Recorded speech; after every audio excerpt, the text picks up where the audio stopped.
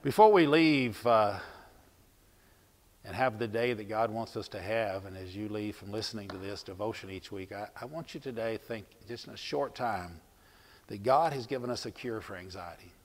It's the Word of God, it's, it's right here, it's, it's found right here. And I have found that no matter what book uh, a psychiatrist or a counselor writes, it's, it, and some of them don't realize it, but it's all based on the Word of God, especially Matthew 5, 6, and 7.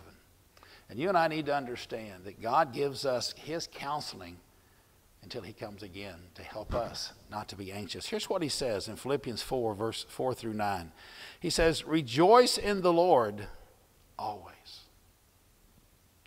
I will say it again rejoice. Let your gentleness be evident to all, not to who I feel like it or who looks like I can be gentle to. Let your gentleness be evident to all. The Lord is near. Do not be anxious about anything or don't worry about anything. But in everything, he didn't say a few things, in everything by prayer and petition with thanksgiving, present our request to God. Simple formula there. And the peace of God, which transcends all understanding, will guard your hearts and your minds in Christ Jesus. So, finally, brothers, whatever is true, whatever is noble, whatever is right, whatever is pure, whatever is lovely, whatever is admirable, if anything else is excellent or praiseworthy, think about such things.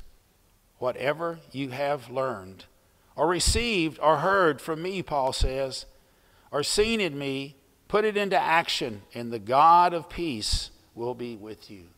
So today, the, the, the God of peace is available.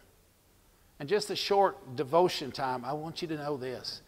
He is there waiting for you to ask, Lord, help me with my anxiety. Well, you go to Philippians chapter 4, verse 4 through 9. He gives you the answer.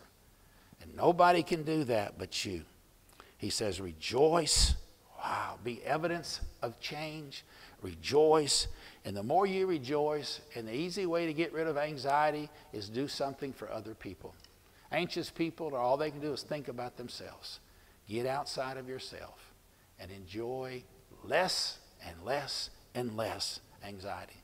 God bless, and may you have a wonderful day, and may the Word of God always be there for you. Father, thank you for the Word of God that touches us as we seek it. Lord, uh, all of us are anxious at some times, but we now have found a simple formula, a simple tool, a simple prescription from God that if we just follow that, it's amazing how the anxiety begins to disappear. So bless those who are listening to this today, and may they have less anxiety and seek to get rid of all anxiety. In Jesus' name we pray. Amen.